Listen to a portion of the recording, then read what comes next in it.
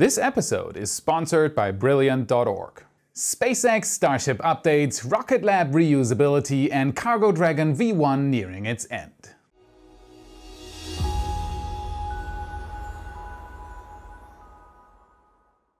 My name is Felix, and I am your host for today's episode of What About It. As always, there has been a lot going on in the space industry lately, so let's dive right in. Starship updates. The big news lately was that SpaceX paused the work in Cocoa, Florida in favor of combining the two sites into one single effort in Boca Chica. And a few days after I first spoke about it, we can already see the results. SpaceX is using parts from Florida in Texas. Go Discovery delivered the precious cargo to Port Brownsville and trucks delivered it to the construction site.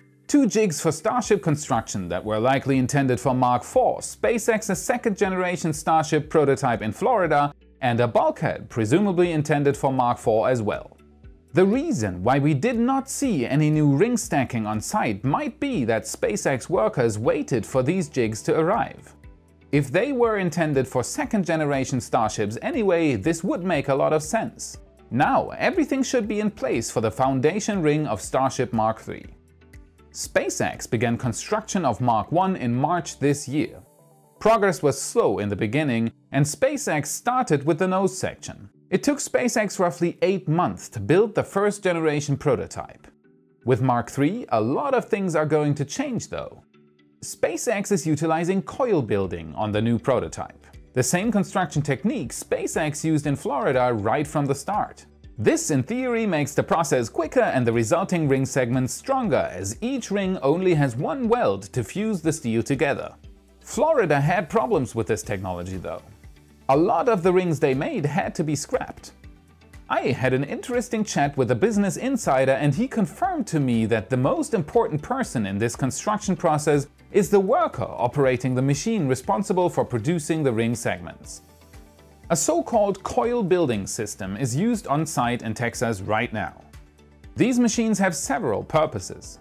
First of all, it unwinds the stainless steel coil that has been delivered by Newcastle, a company specialized in making the kind of steel that SpaceX needs. In the process of unwinding the coil, the machine first straightens the metal sheet and then bends it precisely into the diameter needed for the Starship prototype. In the end, the machine cuts the sheet and fuses the two ends together with plasma arc welding. This technology is nothing new. SpaceX borrowed it from an industry specialized in making storage tanks. So in theory, there should be qualified workers available to do the job. GPI, for example, is a company based in the Netherlands, specialized in exactly this construction method.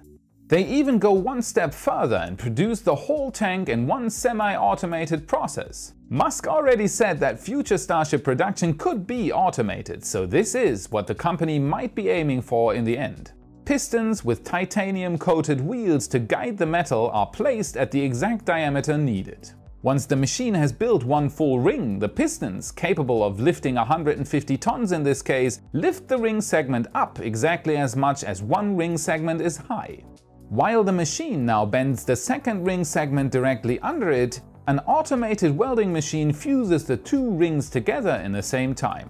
When the full circle is done, the second ring segment is welded together and the whole stack is lifted up again. This process is just repeated until the tank, or in SpaceX's case the Starship hull, is finished. In theory, this process could be used at least for two-thirds of the hull. This would extremely speed up construction time and at the same time ensure precise welds of the same quality on every ring segment. It's not clear yet if that is what Musk referred to when he said that Starship hull production could be automated. But it's also safe to say that that's not what SpaceX is doing right now. What we can see in Boca Chica right now is exactly what SpaceX did in Florida. But we can also say that the results we could see in Florida looked much less dented with far fewer welds on the hull. SpaceX's Starship Mark 1 is almost gone now. The ring segments have been separated again for easy scrapping and the leg housings have been taken off. If there is no change on the initial leg design, we might well see these leg housings being used again as well. Nothing, though, has been done on the Mark 1 nose section. It's been sitting next to the new container fort with no visual changes. If SpaceX does not intend to use the old nose cone, we should soon see disassembly work there too. One of the jigs from Florida has already been placed next to the ring wall in front of the windbreaker. Presumably this is the place where the new tank section will be built soon. Basically, everything is in place for SpaceX to start building Mark III, and since Musk already said that the flight hardware of Mark III will be quite different, the next phase of construction should be equally interesting. If you liked the update, now's the chance to show your love. Click the like button and subscribe if you haven't done it yet to receive notifications on every single episode. Thank you. Rocket Lab, one step closer to reusability. On December 6th, Rocket Lab launched yet another rocket out of their New Zealand-based launch facility. The mission was called Running Out of Fingers, in homage to the completion of their first 10 flights of the still very young launch system Electron. Typical for an Electron launch, the commercial ride share for this mission was comprised of seven small payloads for all sorts of missions. The Electron rocket is Rocket Lab's one and only launch system. Right now, the rocket is flown as an expendable launch vehicle, re-entering the Earth atmosphere and crashing into the ocean after launch. Rocket Lab intends to change this though and enter the reusable rocket market to further raise launch frequency and drive down costs. After Peter Beck's announcement in August that Rocket Lab would be trying to recover boosters in the future, a project was set in motion to achieve the goal in several steps. First steps have already been performed on two previous launches, mostly collecting data on booster re-entry. This time though, the rocket was outfitted with guidance and navigation computers and control thrusters to position the booster on re-entry and enable it to follow a narrow path down through the atmosphere instead of the normal uncontrolled re-entry. Beck said numerous times that the hardest part for his company was to enable the booster to survive this re-entry process intact. When it comes to landing, Rocket Lab chose a very different approach from what we can see on SpaceX's Falcon 9 boosters. Where SpaceX chose to perfect a propulsive landing on land and sea, Rocket Lab will deploy a parachute and then try to catch the rocket with a helicopter. Beck said that by completing last Friday's launch, about 50% of the project was completed. Rocket Lab also said that they are planning to do the guided re-entry again to get more test data and that the Electron rocket would then be ready to be outfitted with a parachute system for further tests. If these parachute tests go as planned, Rocket Lab will then be ready to attempt the catch. While it would be important for Rocket Lab to reduce launch costs, the main reason for the whole project is to raise launch frequency. Rocket Lab right now is building a second launch site in Virginia at NASA's Wallops Flight Facility. With this second launch facility located on the United States East Coast, Rocket Lab's goal is to launch as many as 120 rockets per year. By recovering boosters, Rocket Lab could effectively double their launch frequency overnight. If everything goes as planned, we could be only three launches away from a first recovery attempt by Rocket Lab. Next launches are planned for the first weeks of 2020 and it will be quite exciting to see a helicopter snatch the rocket right out of mid-air. Go Rocket Lab! Dragon V1 nearing its end. SpaceX did it again. As part of the ongoing commercial resupply program, SpaceX sent yet another cargo dragon to the ISS to resupply the station with all sorts of supplies and science cargo. Following a scrub due to strong upper-level winds on December 5th, SpaceX used their second launch window on December 6th and successfully launched the Cargo Dragon on top of the brand new Falcon 9 booster 1059. The launch went exceptionally well, including a soft touchdown on Of Course I Still Love You. Due to a special thermal test of the upper stage involving a longer boost duration for the first stage, SpaceX was forced to use their drone ship as a landing site, which usually is not needed for a CRS mission. Everything went fine though, and following a perfect separation, the Cargo Dragon C-106 was sent on its way for the third time to catch up with the ISS. Just two days later, the capsule arrived at the ISS, delivering 2,617 kilograms of payload, including 40 mice, to the ISS. This flight marks the 21st flight of the first generation Cargo Dragon and the 20th mission to the ISS, taking into account the successful second demonstration and CRS-7, which failed to reach orbit.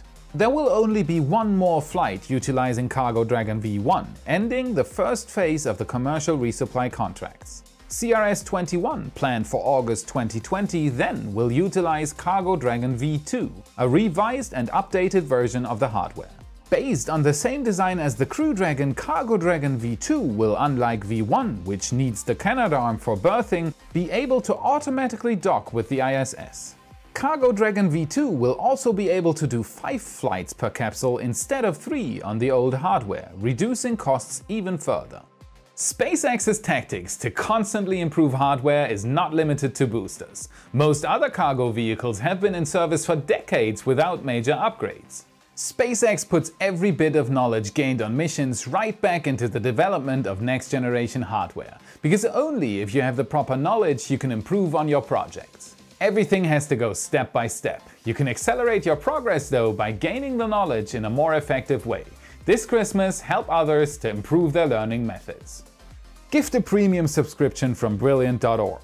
Learning often is not about the right mindset, but about the right approach. Everyone learns in a different way. Some read, some need to see a graphic, and others need a good old riddle to get those brain cells to learn something new.